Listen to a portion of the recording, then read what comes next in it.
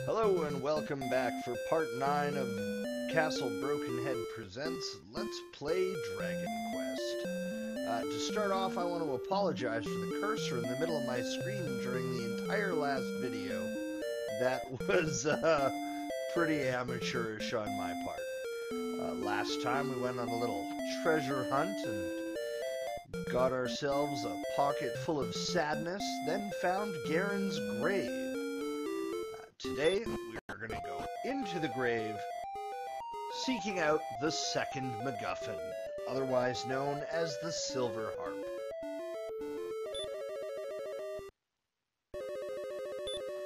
Now, let's get a little light in here. Uh, today's episode might run a bit long. I am going to do the full cave, including the dead ends. We do need to gain some levels, so why not?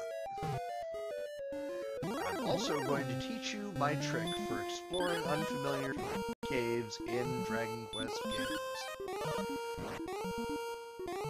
I'm also apparently going to continue to miss hitting the skeleton. Um, basically what I do is from the entrance of a cave, I will generally, at the first choice of directions, go left.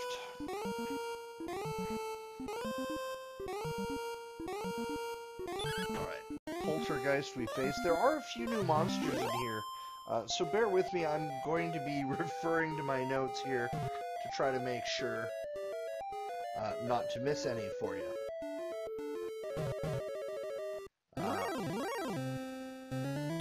As I was saying, though, one of the things I do uh, when I'm approaching an unfamiliar cave is when I reach my first junction, I go left, and I continue to go left at every turn uh, until I either get back where I started or have explored the entirety of the cave. Uh, today we will be exploring the entirety of the cave, dead ends and all.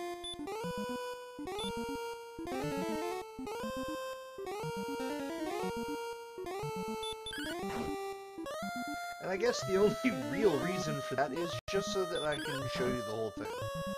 Um, unlike the following Dragon Quest games that came after, uh, you can't really get a good view of everything.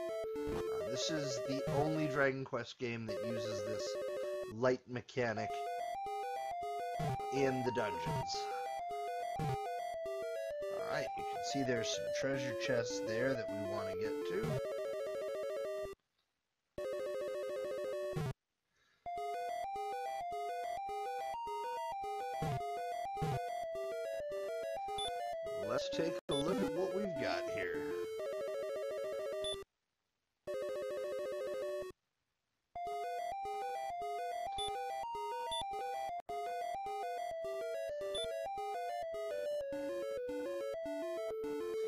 That was our herb that we did not have space for. And then a few gold. I believe this last one's also just going to have a few gold in it. Yeah, nothing exciting. Uh, one thing I'll tell you is that is that in this game, treasure's not very good. You only get a couple of good treasures the entire game. Uh, there are a series of dead ends to our left there that I am going to bypass just because we don't really need to just walk in a circle for the sake of walking in a circle. Uh, we'll be doing that on the next floor.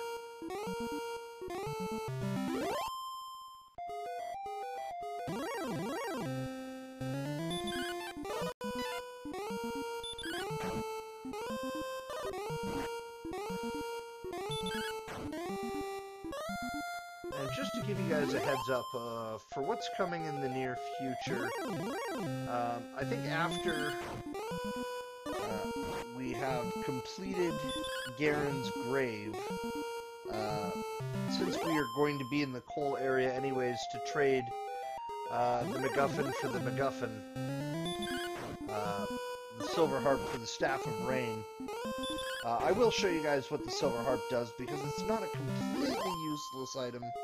Uh, as we've seen people say, it does actually uh, summon monsters. It basically uh, summons forward the near whatever kind of monster uh, frequents the area.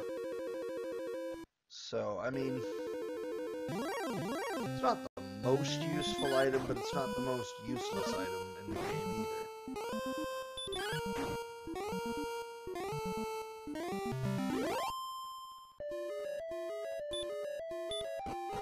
See, this staircase here just leads to that dead end on the bottom floor. Uh, you can see that bottom floor is where we've got the uh, more difficult monsters. Uh, the Wolf Lord being one that we've faced uh, quite successfully in the Rimuldar area. Uh, so there's no real concern uh, with fighting any of the monsters in this area, to be honest.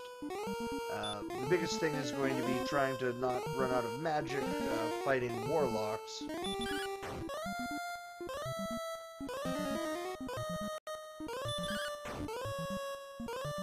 let's take a quick look here. Uh, we actually want to go down here for now.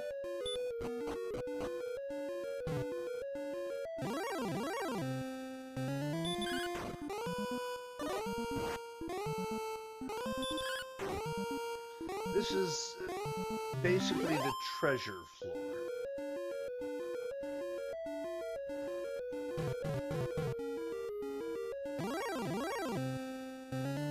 Alright, we have a new monster, the Druin Lord.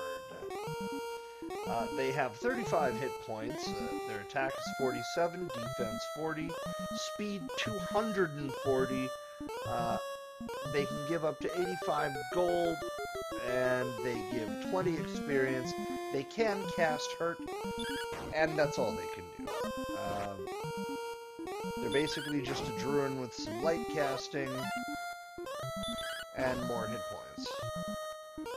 Slightly different color palette. Not the most original, uh, but that's actually fairly impressive still for an 8-bit system. Alright, another new monster. We have the Spectre. And the Spectre has 36 hit points, attack 40, defense 38, speed 49, can give up to 70 gold, and they give 18 experience. They can cast Hurt, but also Sleep, so we want to use Stop Spell on the Spectre. Because uh, as you know, the only way we're really going to have any trouble uh, or be at risk of dying is if we are put to sleep.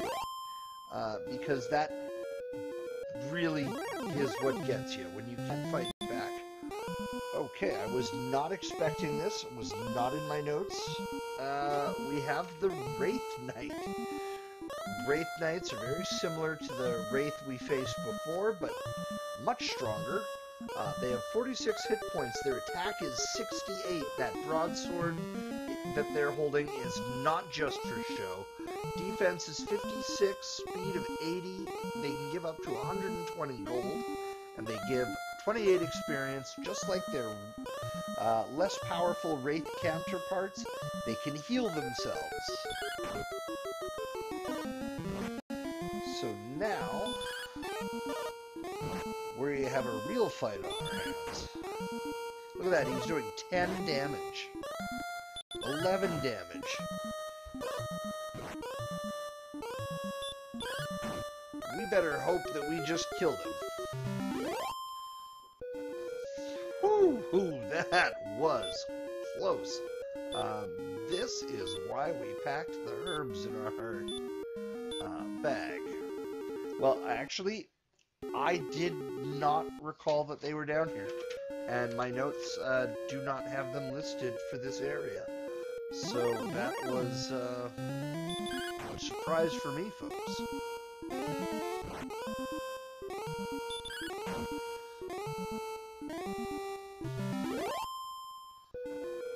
Alright, and we are now coming up on our fourth treasure chest.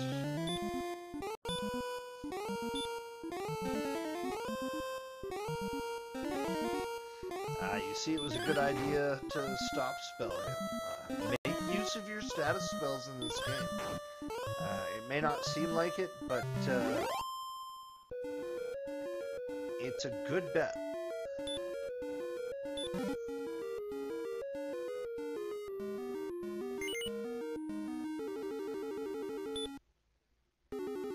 Alright, so we are going to drop the torch to take the cursed belt.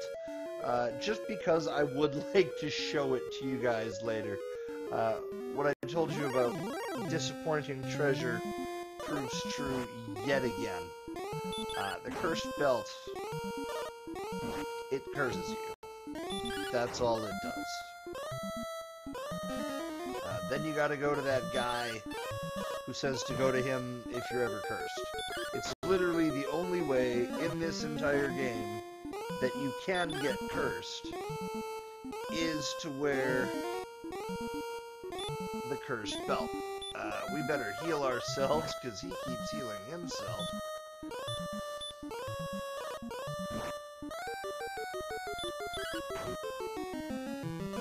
Wow, I am not doing well in this fight.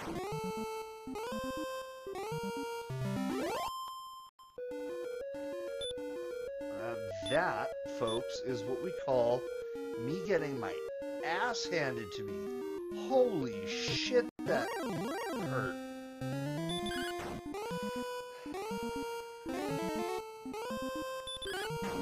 At least it's just a wolf lord this time. Um, I may actually run if I encounter another Wraith Knight. I do not want to fight another one of those. They just do too much damage. Alright, so we are back up on the floor we were before. Um, if you remember when... Oh, here, I'll throw on some more light. Uh, we started over to the right. Uh, that's where the, was the two staircases right next to each other. It's almost a relief to be fighting a wolf.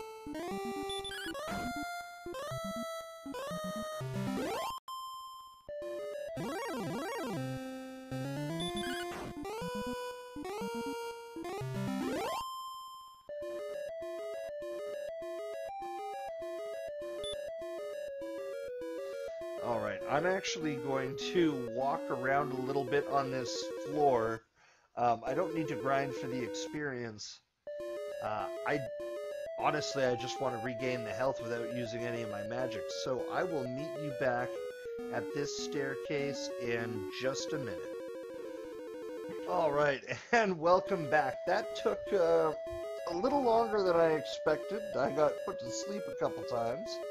Uh, but if you recall, we have that magic armor, so I just used it to walk around and uh, regenerate some health. You'll see my magic is lower uh, due to a stop spell usage, and uh, I had to use the radiant spell uh, to get the light back.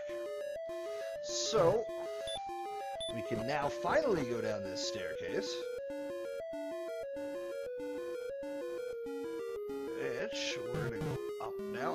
Try to spend as little time as I can on this floor. Um, but there were a couple more monsters I wanted to show off. Uh, the Droll Magi being one of them. Uh, here, it's just like the Droll, but with magic. Uh, he has 38 hit points, 52 attack, 50 defense, 34 speed, can give up to 90 gold, he gives 22 experience, and here's the real kicker. He can cast heal, hurt, and stop spell. So we definitely want to hit this guy with the stop spell right away. We do not want to have to spend forever fighting him, uh, especially if he takes away our ability to heal ourselves.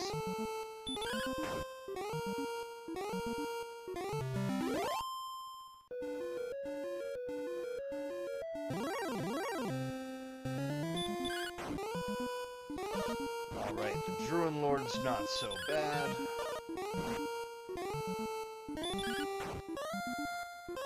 We can handle this in here.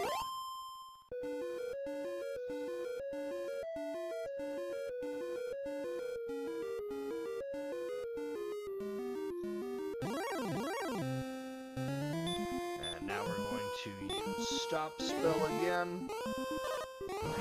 We just flat out need him to be blocked at all times.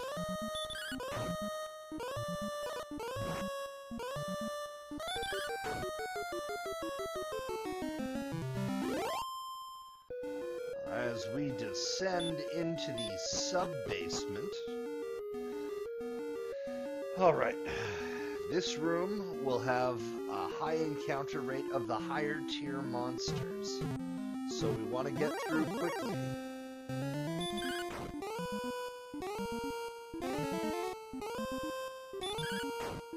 Well, at least he's wasting his magic healing himself instead of using hurt on us.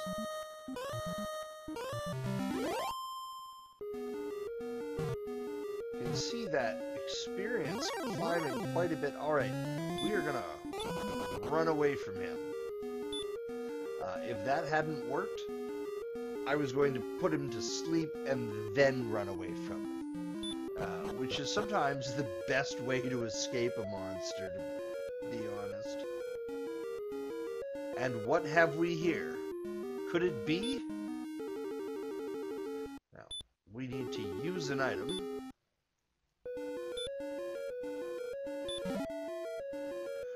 It is the second MacGuffin.